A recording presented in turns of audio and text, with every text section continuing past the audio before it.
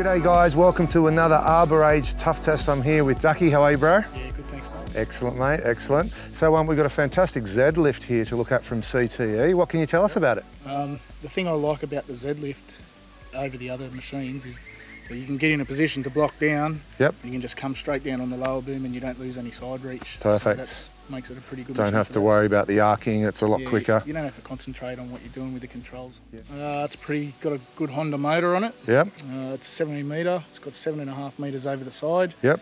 I, know, I hear this particular unit's fast earn a reputation as being uh, a little unit but a big performer. So why don't we get over there and we'll have a closer look? Yeah, mate. no Perfect. worries.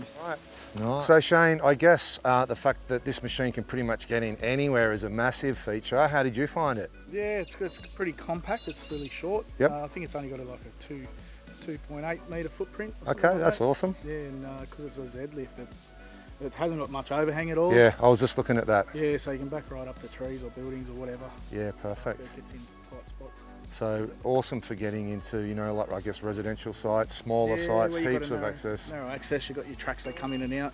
You're on a remote control, so yeah, it's it gets in places others can't. I think. Perfect, looks good. All right, let's check some other things out. Okay. Uh, something else I didn't mind about the machine is um, it's got the, with the controls. Is any hydraulic controls you got. There's nothing worse than having electric over hydraulic where it's all or nothing. They, these have got nice controls where you can just lever on and off. Yep. Nice and gently, as gently Okay. as you like. Yep. You can go fast if you need to. Yep. Um, and it's a pretty simple setup, so basically anyone can use it. And I could imagine hire companies would benefit out of having a machine like this. Perfect. Mm. So Ducky, you've obviously used and tried out a pile of machines. How do you think this one held up? Uh, this one's a good one. I'd, I'd use it if I had a chance to hire it. Yep. Um, I like the bigger one that we test drove this as well. That was Yep. really good. Yep. Um, and this one's just as good, but it's just in a different class. Yep. I've test drove a few so far that I left reviews that weren't suitable for our tree industry, for our Yep. industry, and Yep. uh, they didn't actually make the magazine because Yep. they weren't good enough. Yep. Okay. Um, I'd recommend this. Perfect. Ah, nice one.